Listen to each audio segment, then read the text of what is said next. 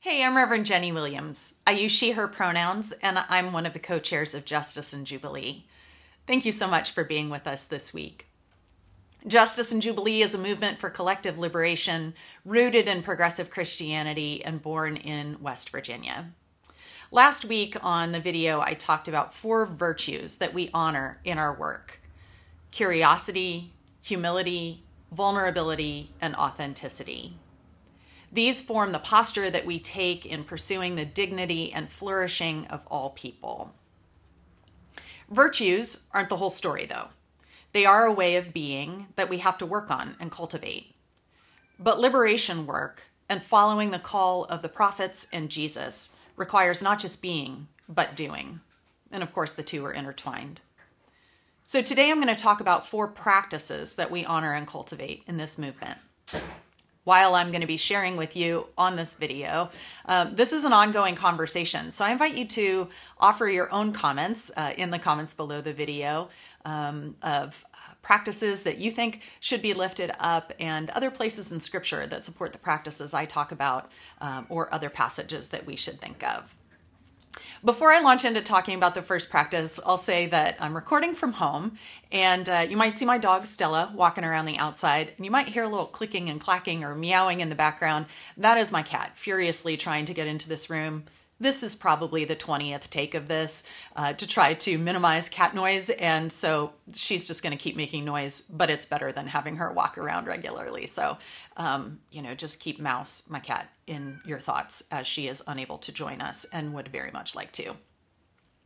So, the primary practice that we are all about is the practice of solidarity being in solidarity with people who are different from ourselves, and particularly being in solidarity with people who have been historically excluded and marginalized by society and by the church.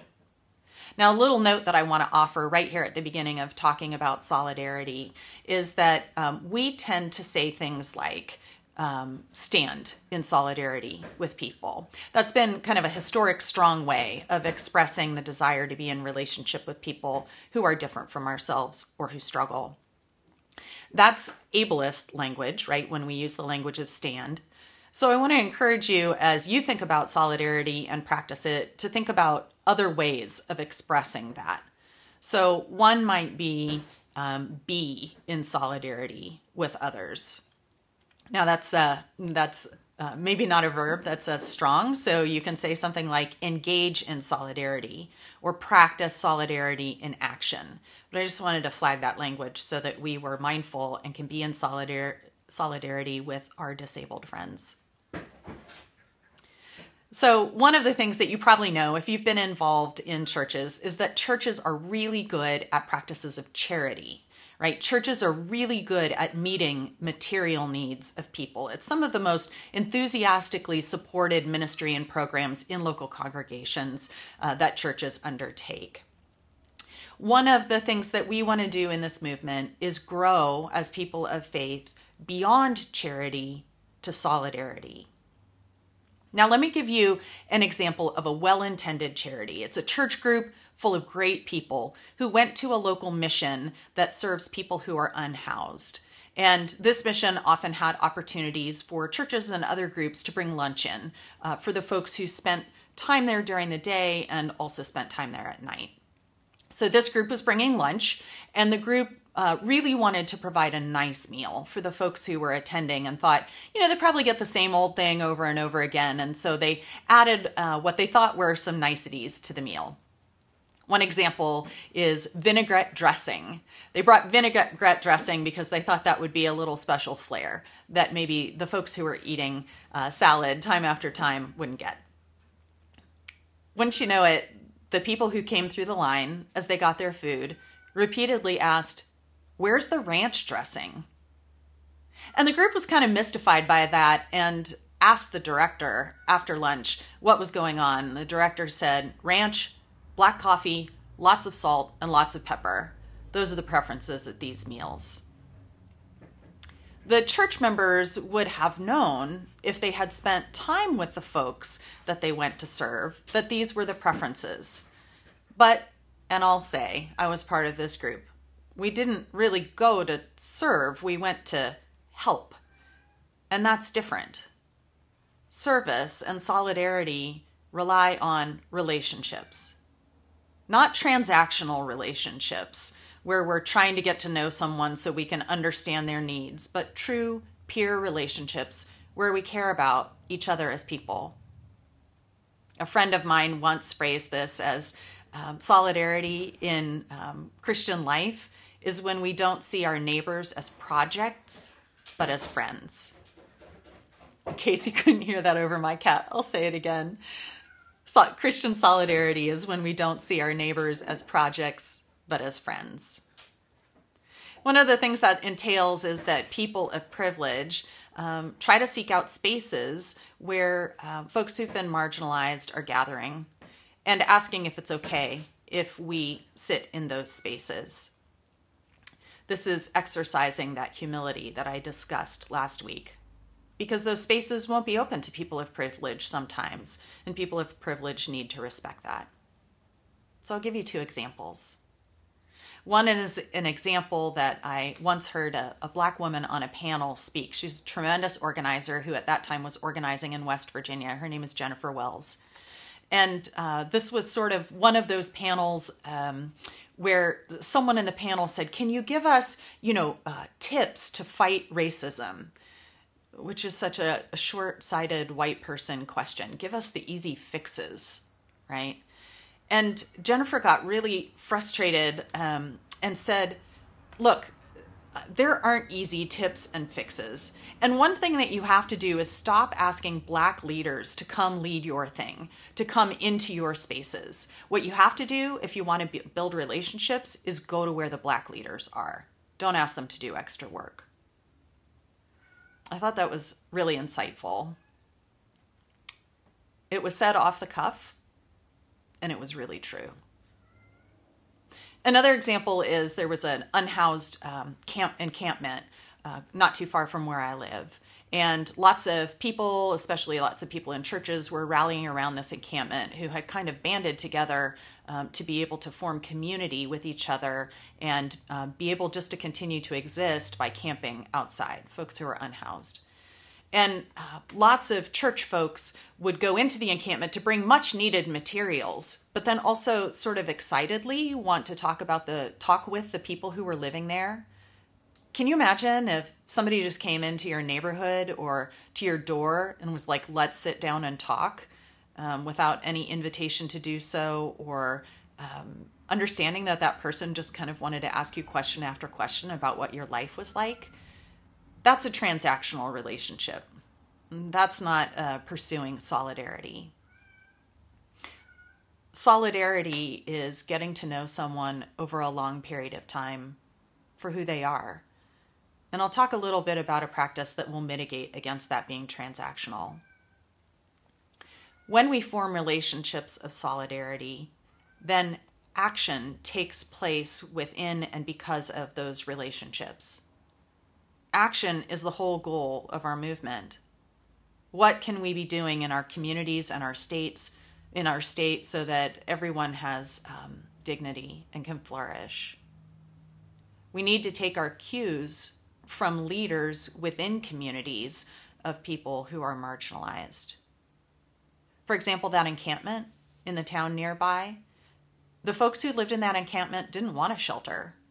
There was a lot of energy going into um, uh, brick and mortar uh, shelter for the folks in that encampment. And the folks in that encampment said, We have a community. Like, we're good doing this. What we really want is a piece of land and some porta potties and some trash service and stop having our encampment torn down by the city. Whereas people who thought they knew the answer thought that a brick and mortar space would be most helpful they weren't listening to the people who lived in that community. So, something that we strive to do is take our cues for action from the communities uh, in which we are forming relationships. That action may be through systems that are already in place, systems of governance. But more importantly, I think our actions are going to be building alternative systems to the ones that already exist. So that's a little bit about the practice of solidarity. I'm going to talk about three more practices uh, in a much um, quicker version, but they're equally important. One is the practice of community. So in 1 Peter 2.10, um, the, the letter says, Once you were not a people, and now you are the people of God. We belong to a people, we who follow Jesus. That's not a solitary endeavor. That people of God formed as a covenant people with Abraham and Sarah, going on to the 12 tribes of Israel from Jacob and his partners. Those are the people of God, called to be a blessing in the world. When Jesus came, Jesus didn't just talk to individual people, Jesus formed community, a community of disciples that had this inner circle of the 12 and a much wider outer circle of all people. We saw community form after Pentecost. Particularly, it's mentioned in Acts 2 and Acts 4, where communities formed and depended on one another. That was also the case for the epistles in um, in the New Testament, where those letters were written to communities of faith. Now, we who call ourselves Christians, we're party crashers to the people of God. We are Gentiles that were grafted in to the people of God through the body of Jesus Christ. That's something important to remember that the people of God existed long before us and will exist long after us. There's no Christianity in isolation. That's why this Justice and Jubilee work is so important. We are forming community in order to be able to pursue liberation in the world. This is collective work, and we need each other for it. And if we practice, truly practice community, we will be intersectional and see that so many needs for liberation are bound up with each other. Christian community is a practice. It's a hard one for people who've been harmed by the church and something that we have to work at. But we believe that practicing community, that in practicing community, that the Holy Spirit is within those communal spaces, making us more than a sum of our parts, but making us a dwelling for God. Our next practice is the practice of mutuality, which comes within community. Again, the communities that we see in Acts 2 and 4, they were selling all their stuff and redistributing redistributing the money um, and the goods so that everybody had what they needed. Those were practices of mutuality. And in the future, we'll talk about the practice of mutual aid which isn't charity. It doesn't have the same dynamics. It's not transactional. Mutual aid is a practice where we believe that everybody who comes uh, to a gathering or is part of a group in a neighborhood or part of an online group has something to offer. It's not going to be the same thing. People aren't all going to be able to offer the same thing. But our gifts, our talents, our possessions, these are things that we can offer to support and help one another, to promote flourishing, as we are in solidarity with each other. And finally, I just want to talk, touch on one last practice, and that's the practice of joy. Joy can involve humor, right? Jesus was really good at that. Jesus had a pretty dry sense of humor. So it can involve humor and laughter, it can involve love, and it can also involve pleasure, right? There's a, a wonderful book that I've been reading by Adrienne Maree Brown, who's a black queer woman, called Pleasure Activism all of her work is really good, but pleasure activism is based on the premise that if we don't believe that joy will come until liberation comes, then the oppressive systems already have us. Joy has to come throughout the work. And she says over and over again prioritize pleasure. It's a wonderful book that talks about pleasure in our bodies, but we can derive pleasure from smelling a flower, or, or um, we can derive pleasure from being with a friend. Uh, there are any number of ways that we practice joy. And to conclude that part, I just want to quote the poet Mary Oliver, who said, Joy is not meant to be a crumb. We practice joy in this work because if justice work isn't joyful, why would we want to do it? So, those four practices solidarity, community, mutuality, and joy are a major part of what we seek to honor and cultivate in our movement work. Again, I invite you to add in the comments um, any examples that you might add from the Bible or Christian tradition uh, that we should uplift and honor. And also, I hope that in this next piece of music that you find the opportunity to reflect, to to think about which of these practices is something that you could work on and let us know how we can help you with that.